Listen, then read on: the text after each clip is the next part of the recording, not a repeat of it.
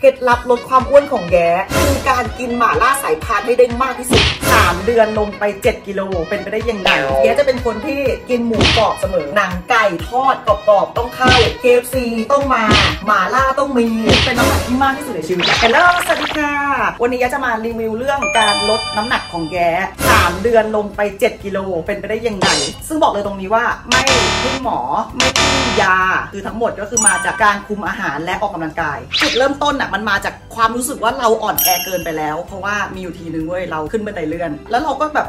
เซจะล้มแล้วเรารู้สึกว่าเราไม่มีกล้ามเนื้อเลยอะอันนี้มันคือสัญญาณอันตรายแล้วมันถึงเวลาที่เราต้องออกกำลังกาย เพื่อให้มีกล้ามเนื้อมาพยุงร่างอันแสนบอบบางเบสิกของแย้เนี่ยคือเป็นคนที่มีทุกคนช่วยเหลือรอบข้างไม่ว่าจะเป็นป้าต้อยน้องเอ๋ยเลขาหรือจะเป็นอุ๋งแย้ไม่เคยต้องแบกอะไรเลยกระทั่งบางทีเปิดประตูรถยกกระเป๋า ทุกคนทำให้หมด ดังนั้นแย้เลยไม่มีกล้ามเนื้อเอออันนี้คือจุดเริ่มต้นค่ะคำถามที่น่าสนใจก่อนที่สองค่ะก็คือ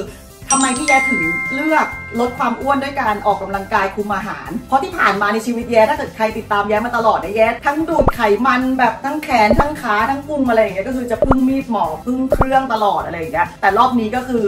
พึ่งตัวเองเพราะรู้สึกว่ามันถึงเวลาแล้วคือแย้เนี่ยอายุ 38 แล้วเออดังนั้นถ้าเราไม่เริ่มออกกำลังกายเครื่องมันช่วยได้แค่บางจุดเว้ยมันไม่ได้สามารถช่วยสร้างกล้ามเนื้อได้ทั้งตัว หรือขาอะไรอย่างเงี้ยเออแล้วมันก็ใช้เงินปริมาณมหาศาลเออก็เลยรู้สึกว่าตัดสินใจมาออกกำลังกายนั่นเองก่อนลดความอ้วนเนี่ยคือแย้สูง168หนัก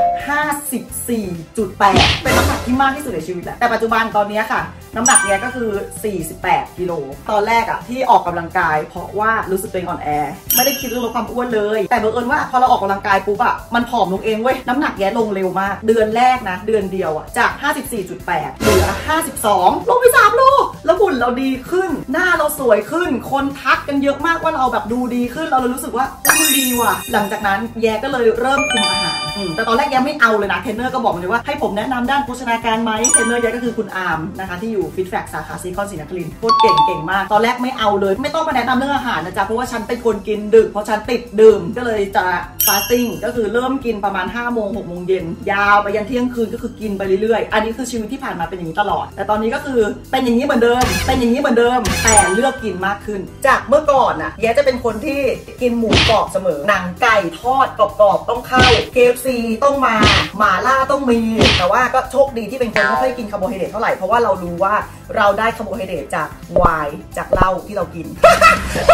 จากเมื่อก่อนที่เล่ามาใช่ไหมตอนนี้ก็คือไปกินหมาล่าสายพานแทน เพราะว่าหมาล่าสายพานอะน้ำมันมันจะไม่ได้เยอะเว้ยแล้วสิ่งที่แยกินเป็นหลักเลยนะแยจะใส่แต่ผักผักผักผักผักผักผักมีแต่ผักเว้ยผักที่ยายกินก็พวกบวยเล้งยอดอ่อนทานตะวันเห็ดหูหนูดำกระหล่ำปีเนื้อสัตว์ที่ยากินก็คือหมูสันนอกสามถาด แล้วก็ไม่ซดน้ำนะ อย่าไปซดน้ำนะซดน้ำอาจจะตุยได้นะ เพราะว่ามันน่าจะมีโซเดียมสูง น้ำจิ้มไม่ใส่อย่าหาปรุง แต่แย้ติดหวาน แย้เลยมีอีโคคือทำจากซีเรียเออก็ใส่ใส่ลงไปในในซุปของเราให้มันมีความหวานในตัว ทุกคนอาจจะช็อกว่าเคล็ดลับลดความอ้วนของแย้คือการกินหม่าล่าสายพานให้ได้มากที่สุดนั่นแหละดังนั้นใครบอกว่าถ้าไม่กินหม่าล่าสายพานไม่อ้วนเลย แกก็ไม่ต้องแปลกใจจ้ะเพราะว่าเขาเลือกกินจ้ะมันอยู่ที่เราว่าเรามีวินัยมากแค่ไหน ทุกวันนี้แย้มีวินัยมากแย้ออกกำลังกายใช่ไหมแย้ตั้งเป้าเลยว่าแย้จะไป 7 วัน แล้วสุดท้ายมันจะเหลือแค่ 5 วัน แล้วมันก็เป็นอย่างนั้นจริงๆถ้าใครคิดจะเริ่มออกกำลังกายตั้งเป้าไปเลย 7 วัน สุดท้ายอาจจะเหลือ 2 วัน ก็ยังดีกว่าไม่ออกเลย ออกกำลังกายเป็นเรื่องดีเสมอ ทุกคนรู้อยู่แล้วเพียงแต่ว่าทุกคนแค่ไม่ให้ความสำคัญกับมัน ดังนั้นลองให้ความสำคัญกับมันดูแล้วเราจะกลายเป็นคนที่สวยอย่างมีคุณภาพคำพูดที่ออกมาจากฉันได้ยังไงวะปกติฉันพิ่งไม่บอกตลอดเลยแก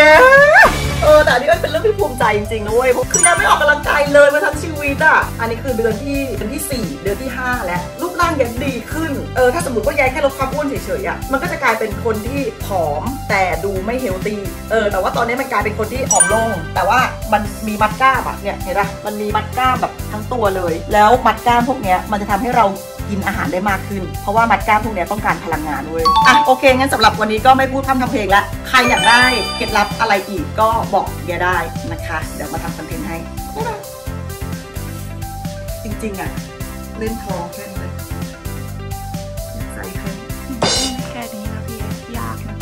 ใส่แค่นี้มันมีหลายท่ามากเลยเว้ยที่มันแบบมันไม่ได้ยากเกินอะ